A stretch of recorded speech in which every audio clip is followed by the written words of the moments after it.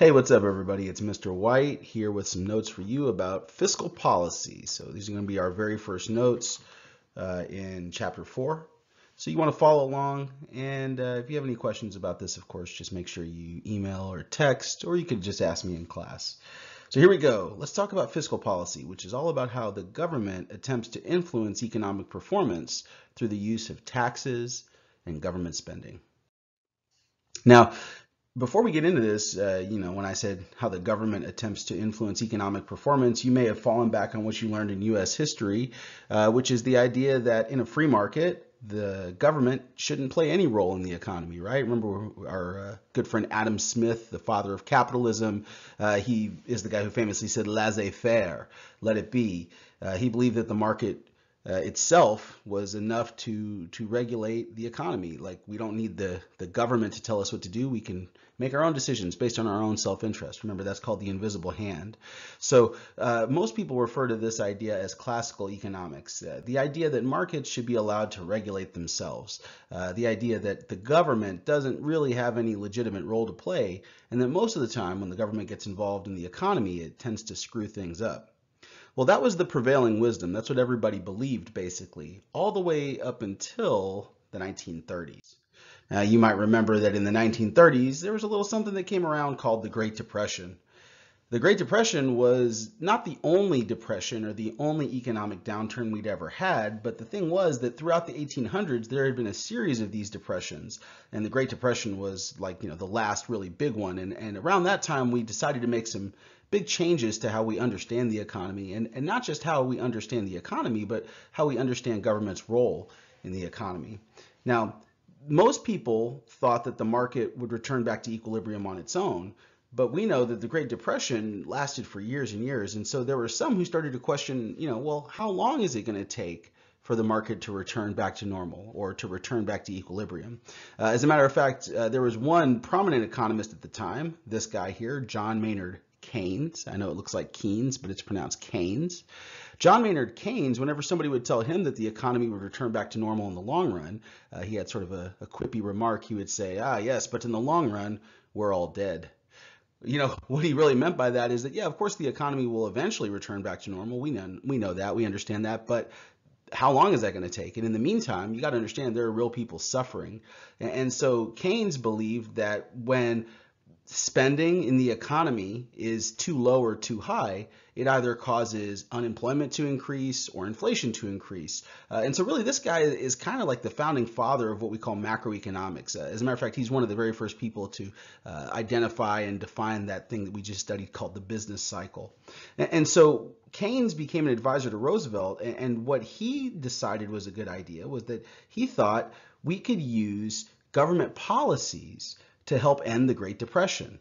Uh, this became what is known as Keynesian economics. So from now on, guys, if you ever hear that term Keynesian economics, we're talking about this guy, John Maynard Keynes, and his idea that the government not only has a responsibility, but also an ability to fix the economy when things go wrong. And so what Keynes said was that government should spend more and encourage people to buy more goods and services by doing stuff like cutting their taxes. I mean, it makes sense if the government cuts your taxes, you get more money in your paycheck. And we know that when people get more money in their paycheck, what are they going to do with it? Well, they're going to spend it. If people go out and spend their money, even if the economy is doing bad, all of a sudden businesses start getting busier. When businesses get busier, uh, they probably have to hire people. And if the businesses hire more people, well, then that sort of helps solve that problem of unemployment. And so, um, you know, Keynes became one of the most celebrated economists of all time. And all throughout the 1950s and 60s, governments around the world were using this idea of Keynesian economics. Now, the reason why Keynesian economics works so well is because of something that economists call the multiplier effect. This is just the idea that every dollar of spending in the economy creates more than one dollar of economic activity. Just, just think of it as when you spend money in the economy, it, it basically creates a ripple effect. It's kind of like if you're standing in front of a big puddle and you've got a pebble in your hand. We know that if you throw the pebble into the puddle, the pebble only physically touches one small part of that big old puddle. But the ripples from that pebble will extend across the entire puddle. And so basically that one little pebble can affect the entire enormous puddle. Um, that's the idea when you spend in the economy. Your money ripples throughout the economy and causes people to spend money and buy things and produce things that wouldn't have been produced otherwise. Let me give you an example. Let's say you just got your paycheck and you decided to go to the mall and buy yourself some new clothes. Okay, well, here's the thing. When you go to the mall and buy new clothes, what do you have to give them? That's pretty simple, right? You got to give them some money. When you pay for your clothes and you give that cash to the people at the store, what happens to your money after you leave? Do you think your money just stays in the store forever and just sort of collects dust over time? No, of course not, right? What does the store use the money for? Well, they, they use it to buy more clothes and they use it to pay their employees and to, to pay the rent on the space that they have in the mall. And, and so basically your money just gets divided up and handed out to other people. Well, when other people get that money, what do they do with it? Yeah, they go spend it, right? So maybe the cashier at the store where you bought your clothes, uh, maybe he decides on the weekend he's going to use his paycheck to go to the movie theater. So he goes and buys a ticket at the local movie theater. Well, when that cashier spends the money that he got from work at the movie theater, the movie theater gets money, and, and what's the movie theater going to do with it? Right? It's not going to just sit in the movie theater forever. They're going to spend it. They're going to buy more popcorn. They're going to pay for the next movie. They're going to pay their employees. And so once again, the money gets divided up. It gets handed out to more people. And then those people are going to use it to buy other stuff on and on and on and on. And, and that's what the multiplier effect is. You know, if you remember that circular flow model that we learned way back in unit one and that game we played, that circular flow game, remember that one person's spending is another person's income. So when one person goes out and spends money in the economy, it makes sense that somebody else in the economy just earns some money. And when somebody earns money, they go spend it, which means that somebody else is going to earn some income. And then they're going to go spend it, and then somebody else is going to earn some income. On and on and on. And so that's why fiscal policy is a way that the government can cause an effect to the whole economy. If they cut your taxes, you're going to go spend more, which means other people are going to earn more income and they're going to spend more. And hopefully that can correct any kind of an economic problem we have, like a recession.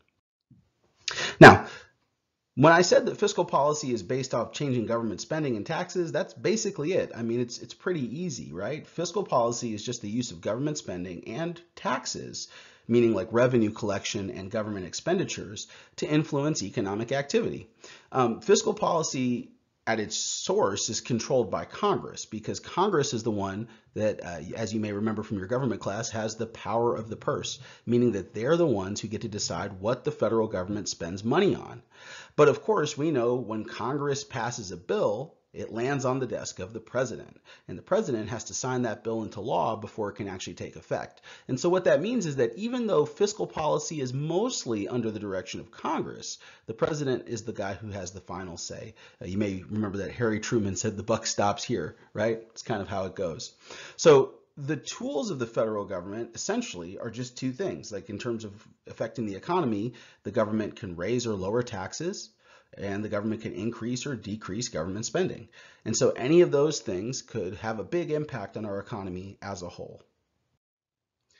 So even though fiscal policy proved really effective during the Great Depression, uh, you know, uh, Keynes advised Roosevelt to do that program called the New Deal, where they built roads and libraries and bridges, and they created social safety net programs like unemployment insurance and uh, Social Security. Hopefully, you remember learning about that in U.S. history.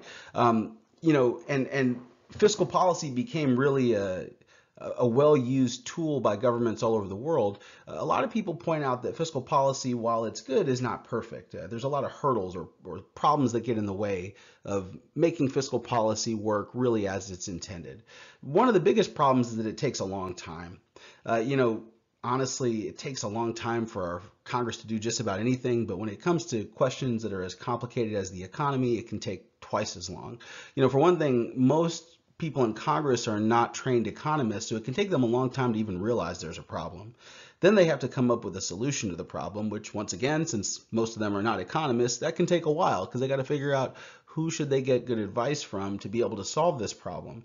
Then, assuming they can come up with a solution that everybody agrees on, they actually have to pass the bill, meaning they have to like enact some legislation.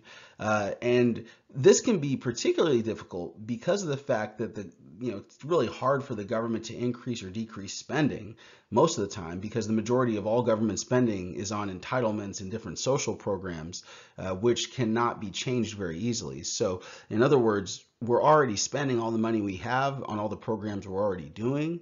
So if we want to add new programs, like like doing some expansionary fiscal policy program, like building new roads, uh, it generally means the government has to borrow money to make that happen. That kind of explains why our government's in so much debt. Now, another huge problem of fiscal policy, which we haven't talked about, but I'm sure you were thinking about, is political party cooperation. You know, these days Republicans and Democrats don't agree on pretty much anything. Uh, you can imagine when it comes to questions of the economy, uh, that is no different. So if the Republicans are in power, they're going to face a lot of pushback from the Democrats on anything that they want to do to try to help the economy, and vice versa. If the Democrats find themselves in control of Congress, uh, pretty much any economic proposals they come up with are going to face a lot of opposition from Republicans.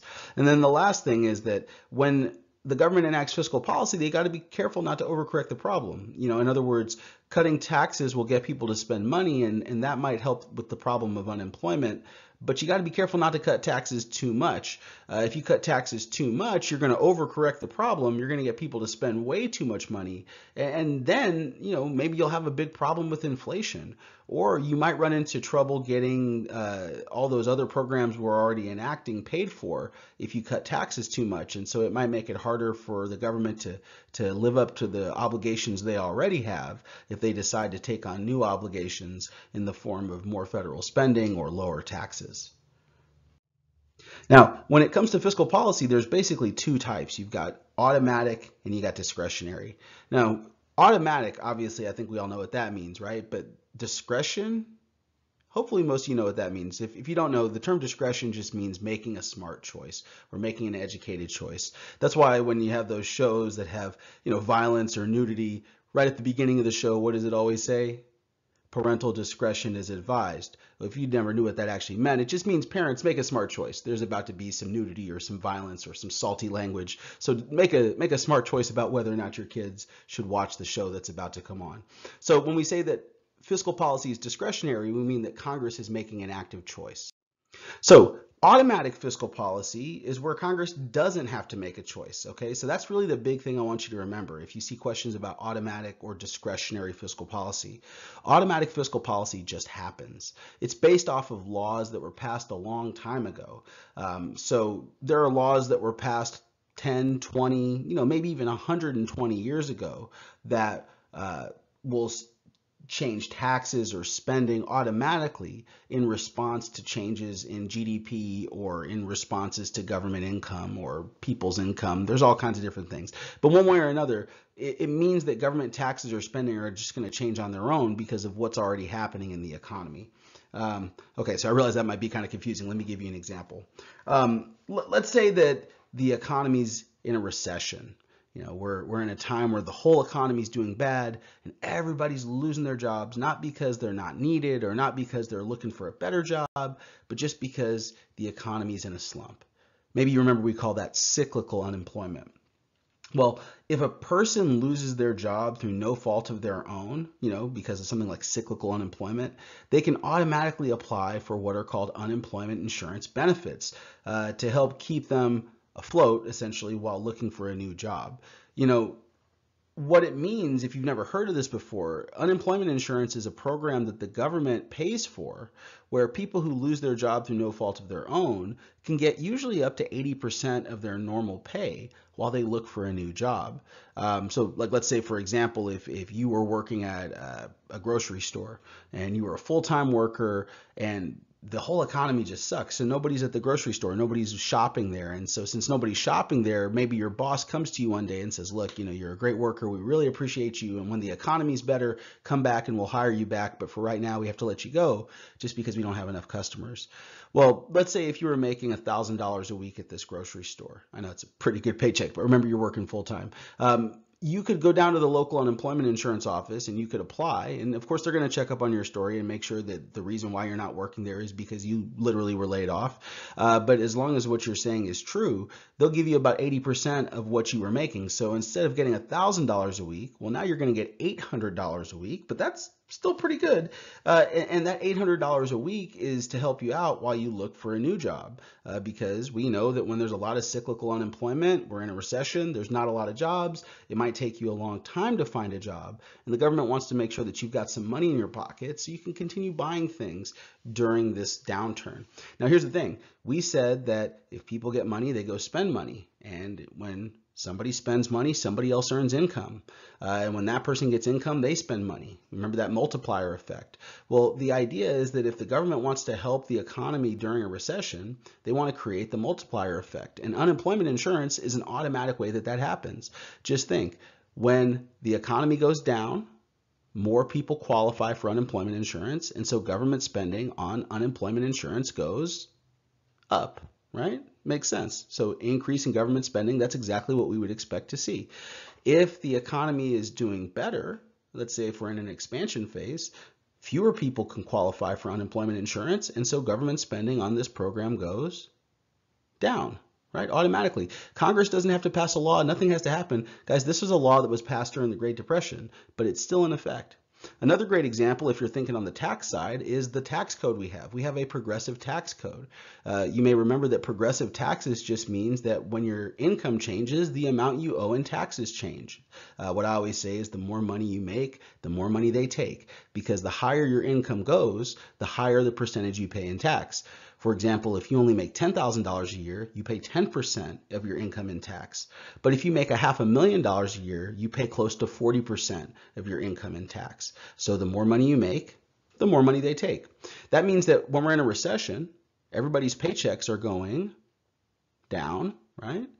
If everybody's paychecks are going down, the amount they owe in taxes is also going down, right? In an expansion, everybody's paychecks are going up and so the amount that everybody pays in taxes goes up. And all of that happens automatically. What's crazy about this law, the progressive tax law, it was passed way back in, huh?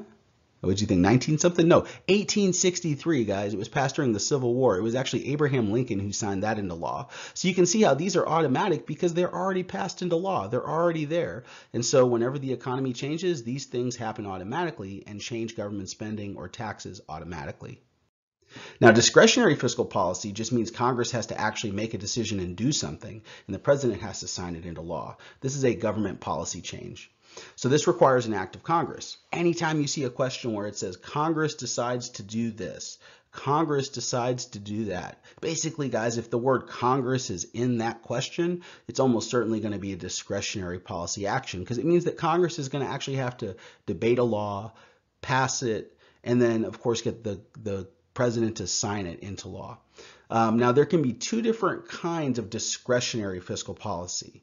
Uh, if they want the economy to speed up, they do an expansionary policy. And if they want the economy to slow down, they do a contractionary policy. So remember, discretion means making a choice.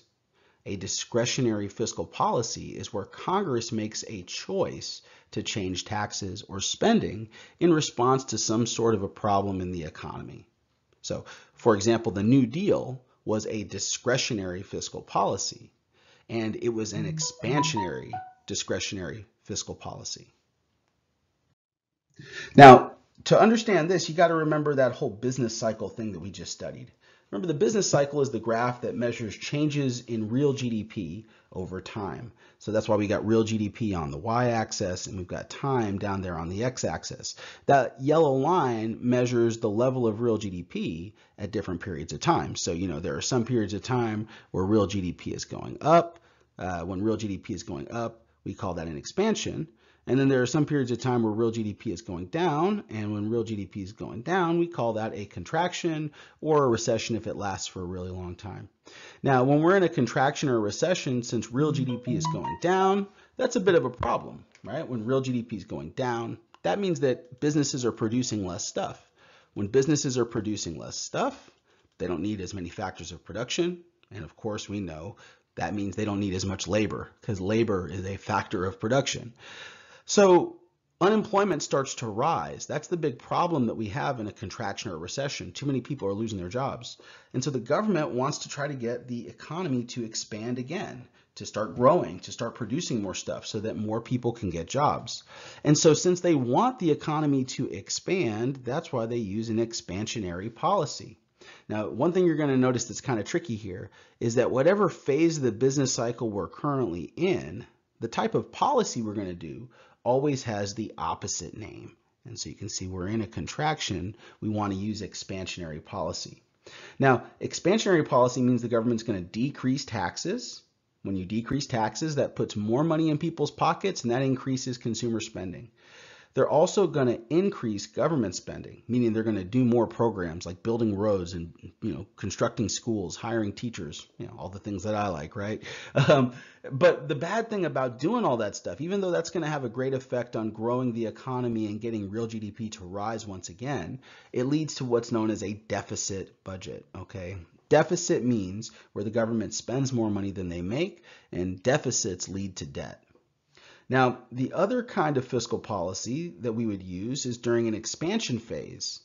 In the expansion phase, remember that inflation can become a problem. Prices can rise too quickly. And so that's why we would use a contractionary fiscal policy. Um, contractionary fiscal policy doesn't mean that we want the economy to go into a contraction. It simply just means we want to slow down the expansion phase. But once again, you're going to notice that the type of policy we use always has the opposite name to the phase of the business cycle that we're in. That's a very important rule that you need to remember. If you can remember that rule, it makes your life a lot easier when you're trying to answer questions on a quiz or a test or a worksheet. Okay. Now, with contractionary fiscal policy, since we're trying to slow down economic growth, what we're going to do is increase taxes. That means that we're going to take more money out of people's paychecks. It makes it harder for them to spend money. And if it's harder for people to spend money, remember that slows down demand pull inflation. We learned about inflation in the last unit. We said that when people spend too much money, all the extra demand for all those products forces businesses to raise their prices. And so if we can slow people down from buying stuff, businesses hopefully won't raise their prices as much.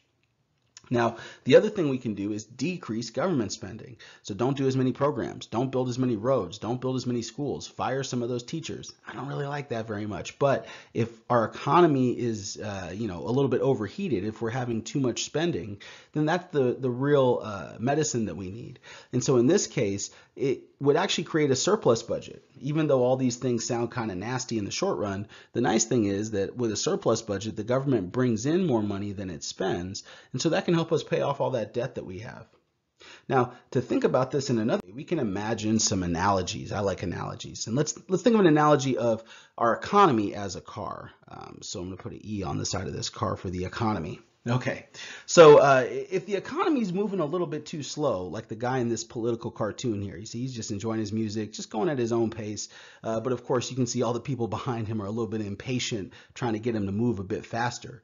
You know, if the economy is going too slow, all of us feel like those guys in the car behind him, right? We want the economy to go faster because when the economy is too slow, everybody's losing jobs, everybody's losing money, businesses are closing down. So if the government wants to make this guy speed up, they can just tell him step on the gas, right? And, and, so what can the government do to step on the gas? How can we get the economy moving? Well, that's what expansionary fiscal policy is designed to do. We want to get our car moving faster. So here's what we do. When we're in a contraction or a recession of the economy, GDP is too low, right? Remember that with a recession phase, GDP is going down, right? This number is decreasing. When GDP is going down, people are losing jobs because businesses aren't producing as much. And if businesses aren't producing as much, then we don't need as many workers. So unemployment starts going higher. And this is all because of low consumer spending. You know, if we could just get people to spend more money, businesses would have to hire more people because they'd have to produce more stuff to meet all that extra demand. So the idea of an expansionary policy is to correct this, to give people more money so they'll go buy more stuff. And when people buy more stuff, businesses hire more people, and that fixes our unemployment problem. So here's a little chart to show you what I'm talking about. Uh, if we want to move the economy out of a contraction or a recession phase, consumer spending needs to increase. So what we're going to do with taxes is we're going to cut them. We cut taxes, puts more money in people's pockets, and so people go spend more money, so consumer spending will increase. But the problem is that when you cut taxes, that's less money coming into the government. That's how the government gets their money to do all the stuff they do. So it's like they're taking in less income. And at the same time, they're going to be spending more, right? We said to expand the economy, government spending needs to increase. When government spending increases, just think they got to pay construction workers and teachers and firefighters. When people get money, what do they do with it? They spend it, right? And when they spend it, that just increases more economic activity. That's that's why the government spends more money during this time. But the problem is, once again, if the government's going to spend more money, at the same time as they're bringing in less money through taxes, they're going to have to borrow. And, and that's once again why we're in a deficit budget. Remember that a deficit budget is when the government spends more money than it brings in.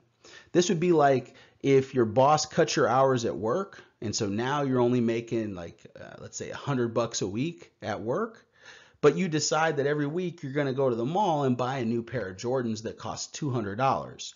Well, here's the thing. If you just do the math, it's pretty simple math. If you're only making $100 a week, but you're spending $200 a week, you're going to be in debt by $100 a week every single week. So by the end of the month, you're $400 in debt.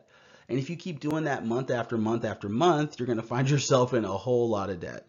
Unfortunately, that's kind of the way that our government does things because if you can imagine, our government likes expansionary policy more than contractionary policy. Go, go figure, right? Now, contractionary policy doesn't mean we want to stop the car from going forward. It just means we need to slow it down. Kind of like when you're driving a little too fast and you see this guy on the side of the road, right? Well, if you're driving too fast and you see a cop on the side of the road, you're not going to slam on the brakes and stop your car right? That would be crazy. You're going to definitely get a ticket then. Probably going to cause an accident too. Um, but the idea is that you just want to bring the car back to a normal speed because if you go a little too fast, you're going to get in trouble with inflation. So don't think of, uh, in this case, don't think of it as a cop. Think of it as inflation. Okay, we're going to think of this guy here as inflation. So we need to slow down our car so we don't get in trouble with inflation. Now, we use a contractionary policy during the expansionary phase. Remember I said that the policy always has the opposite name of the phase. What we need to do is GDP is a little too high because people are spending too much. The reason why people are spending too much is because unemployment is really, really low at this point. And when consumer spending is too high, it causes demand pull inflation. Inflation is the problem. Well, why is inflation a problem? You guys might remember that when prices are rising faster than people's paychecks, then their standard of living is going to suffer. You can't afford to buy all the stuff you need or all the stuff you want if everything is costing more than it used to cost. So the government wants to keep inflation low so that people can afford to still buy all the things they need and all the things they want. So here's what it looks like if we lay it out on a table, right? The government wants to solve the problem of inflation. They need to cut consumer spending. They need to make consumer spending decrease. What they're going to do is they're going to contract the economy by increasing taxes and decreasing government spending. When they increase taxes, what that's going to do is that takes more money out of people's paychecks. When people don't have money in their paychecks, they can't buy stuff. And when people can't buy stuff, that's going to make businesses have to cut their prices. Just think about it. If you're a business and you're seeing fewer customers and you're trying to still sell your product, you might have to cut your prices and have a sale. A sale is a really good way to encourage more customers to come in. So because of the fact that consumer spending decreases, prices should decrease. Government spending will also uh, decrease, right? When government spending decreases, that means less money going in the pockets of teachers and firefighters and construction workers. When those people get less income, they do less spending. Less spending leads to lower prices. And I guess you could say the one silver lining is that if we do this, we're going to have a surplus budget, meaning the government's going to bring in more money because they're taxing more, and they're going to spend less money because of the fact that they're cutting government spending programs. And so if you're somebody who really cares about fixing our, our debt, right, which a lot of people seem to be really concerned about the national debt these days, well then this is exactly what needs to happen is a contractionary fiscal policy. But the, the key is you got to be really careful. You don't want to raise taxes too much or cut government spending too much because that could also have a really bad effect on the economy. And we'll talk about that at a later date. So here is our final summary of expansionary and contractionary fiscal policy. Remember that with expansionary policy, that's what we want to use during the contraction phase of the business cycle. And the whole point is to fight unemployment. We're trying to get more people to work again. Government's going to uh, decrease taxes and they're going to increase spending on programs. All that will help increase consumer spending and that'll hopefully get the GDP to rise again, which will get our economy back on track. When we find ourselves in an expansion phase of the economy, that's when we need to use a contractionary policy. A contractionary policy is designed to fight inflation. Remember, inflation is when prices are rising too quickly. So what we're going to do is we're going to increase taxes and decrease government spending. If you increase taxes, that takes money out of people's paychecks. They can't buy as much, and so they don't spend as much, right? Uh, and when you decrease government spending, once again, less money going to teachers, firefighters, people like that, less spending, lower prices. All right, guys, so that is it for our notes about fiscal policy. If you have any questions, like I said, you can email or you can put comments on this video or you can just ask me in class. All right, guys, see you next time.